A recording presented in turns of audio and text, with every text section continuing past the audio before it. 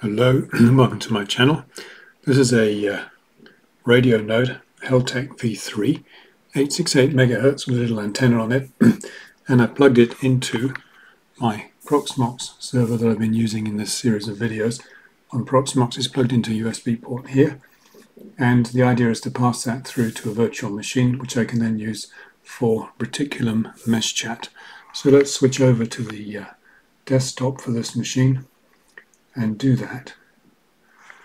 so there's the desktop and this is my notes.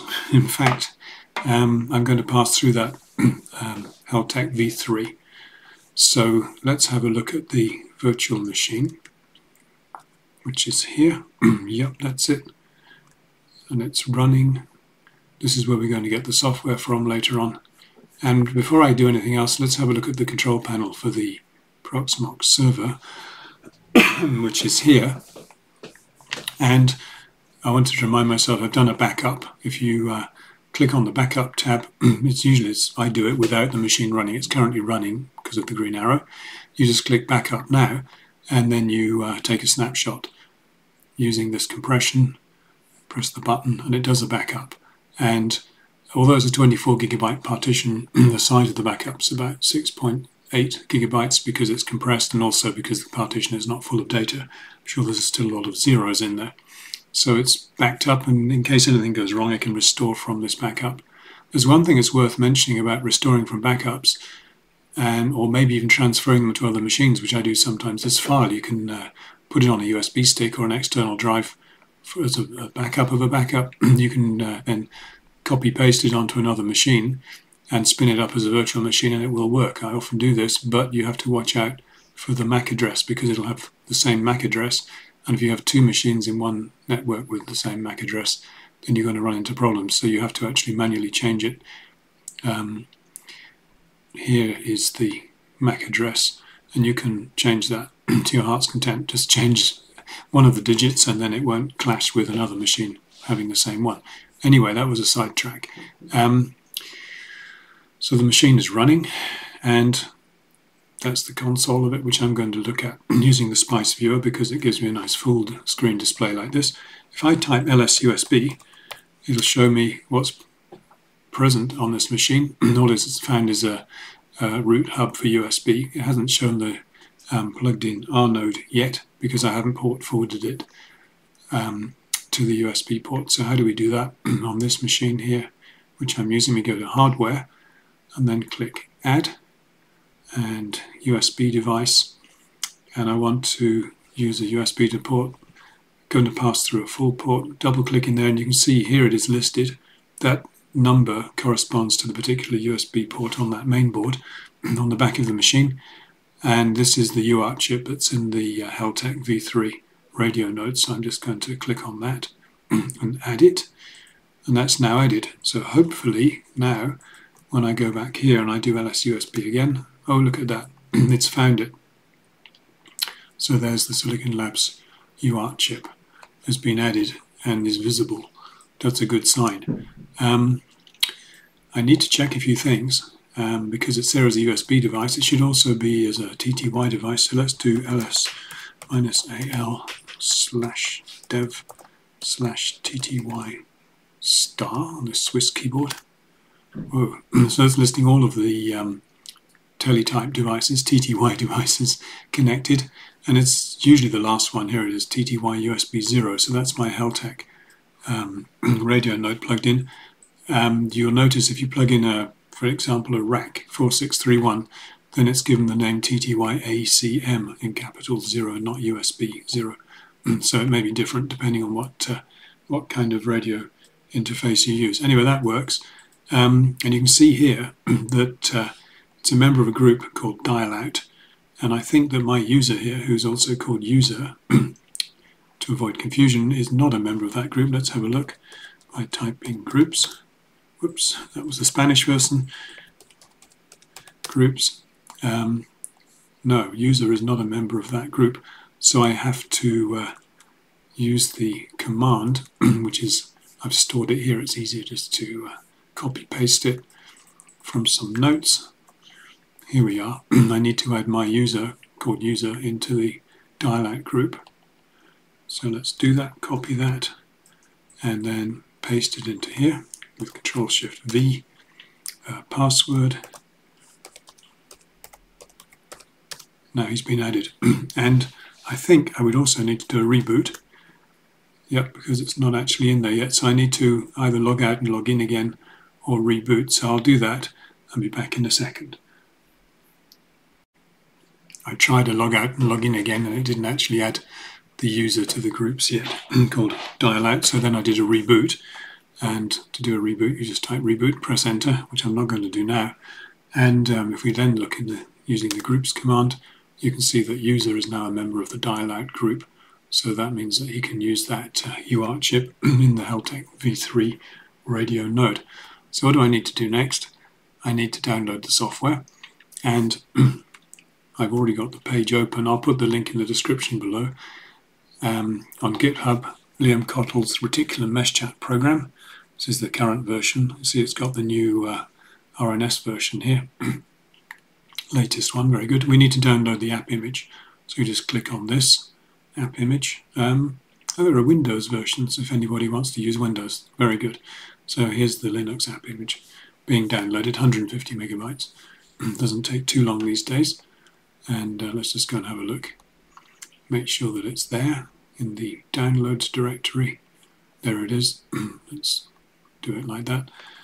I'm going to open a new file browser window and I think I'm going to create a uh, new directory. I'm going to create a directory called apps to put the uh, software in. So let's do mkdir apps like that. Make sure it's there. Yes, it is. And then I'm going to uh, move the program that I just downloaded into the apps directory. I keep pressing the wrong buttons here. This is the button I want to press on the virtual machine. So uh, let's just do a copy paste, control C to copy. then we go over here and uh, look for apps, which should be empty. Okay, control V, copy it into there. Right, now I'm going to go back to the terminal and uh, cd to apps and do ls minus al, which will show the permissions because this is not yet executable. so I need to do a chmod uh, plus x and then capital R, and you can just type a tab to finish that because it's the only one there. So that's done. Now I'm going to try running it. So let's do dot slash capital R tab. Oh yeah, needs Fuse to run. So uh, we will need to install Fuse. So to install Fuse, I'm going to do sudo apt install lib fuse 2. Let's see if this works. Looking good so far.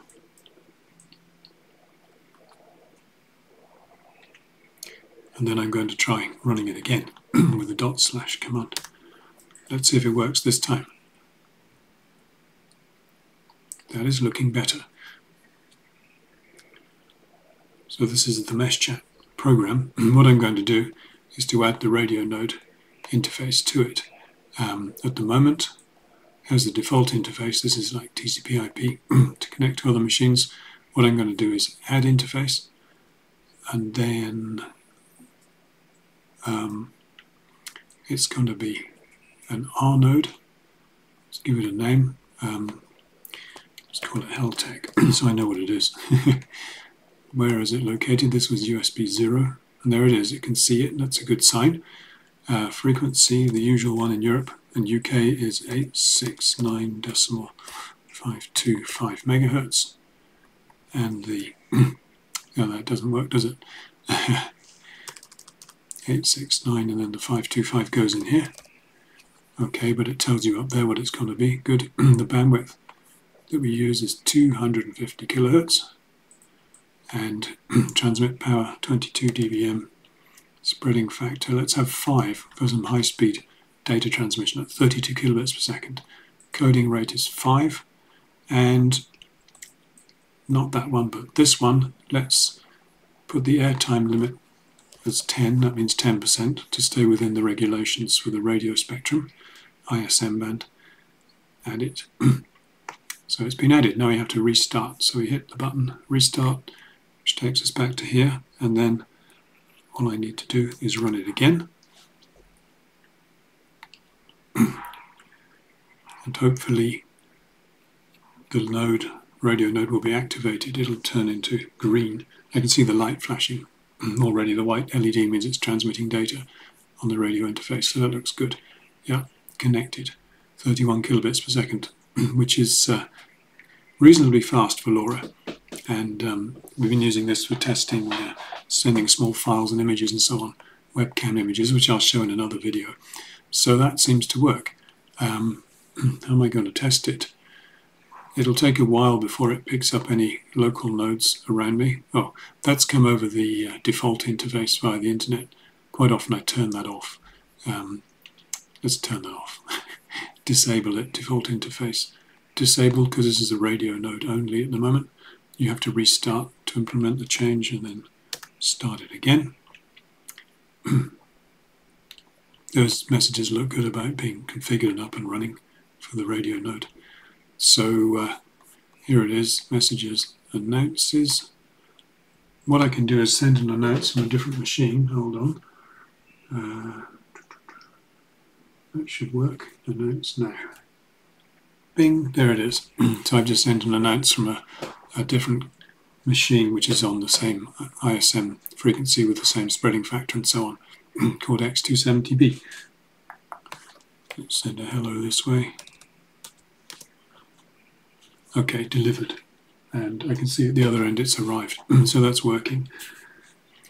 That's probably all I wanted to show in this video so far. So we've got a Proxmox server with a Ubuntu virtual machine on it, which has got Reticulum Mesh Chat running on it. and it's connected to a radio node plugged into a USB port on the server that's being then passed through to this particular virtual machine. And it works. So um, Please make comments or ask questions, and I'll see you in the next video.